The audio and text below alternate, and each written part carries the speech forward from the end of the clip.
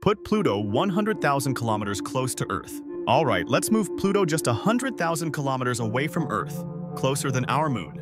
Pluto is a dwarf planet, or maybe just an asteroid, depending on who you ask. A year on Pluto lasts 248 Earth years, and its diameter is only 2,376 kilometers, less than half the width of the United States. Here's Pluto compared to the Moon. Let's see what changes occur.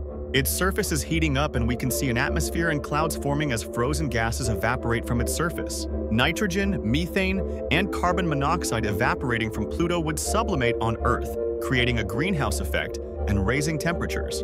Of course, massive floods would occur due to Pluto's close distance and its gravitational pull. Intense tidal forces would literally stretch Earth, causing continental fractures. Eventually, Pluto would either break apart into pieces orbiting Earth forming Saturn-like rings, or a dense dust haze, or it would collide with Earth destroying all life.